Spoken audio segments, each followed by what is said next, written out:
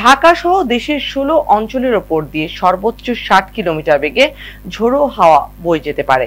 এসব অঞ্চলের নদীবন্দরগুলোকে এক নম্বর সতর্ক সংকেত দেখাতে বলা হয়েছে।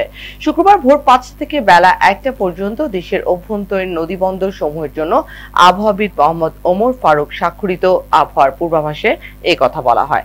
এতে আরও বলা হয়েছে, রাজশাহী, পাবনা, বগুড়া, টাঙ্গাইল, ময়মনসিংহ, ঢাকা, ফরিদপুর, যশোর, কুষ্টিয়া, খুলনা, বরিশাল, পটুয়াখালী নোয়াখালী, কুমিল্লা, চট্টগ্রাম, কক্সবাজার এবং সিলেট অঞ্চলের ওপর দিয়ে দক্ষিণ অথবা দক্ষিণ পূর্ব দিক থেকে ঘন্টায় পঁয়তাল্লিশ থেকে ষাট কিলোমিটার বেগে বৃষ্টি অথবা বজ্র বৃষ্টি সহ অস্থায়ীভাবে দমকা অথবা ঝোড়ো হওয়া বয়ে যেতে পারে। এসব এলাকার নদীবন্দর সমূহকে এক নম্বর সতর্ক সংকেত দেখাতে বলা হয়েছে।